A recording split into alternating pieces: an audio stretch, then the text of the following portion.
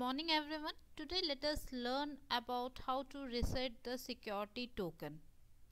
Now before moving towards the video tutorial, I would like to say that Salesforce do understand your privacy of your information. So they have provided a automatic generation key that is security token which can be handled by the user of the account. Remember the security token is linked with the password.